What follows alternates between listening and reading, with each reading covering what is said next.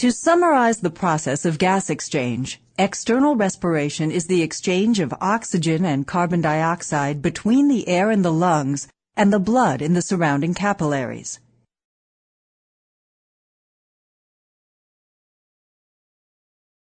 Internal respiration is the exchange of gases between the tissue cells and the blood in the tissue capillaries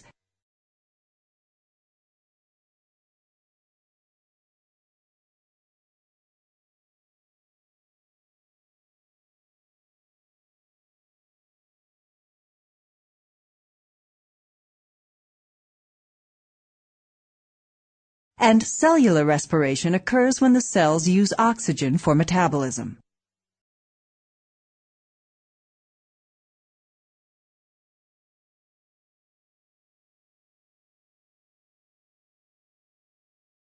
All of these processes must be functioning effectively to provide an adequate supply of oxygen to the cells and to maintain the elimination of carbon dioxide from cell metabolism.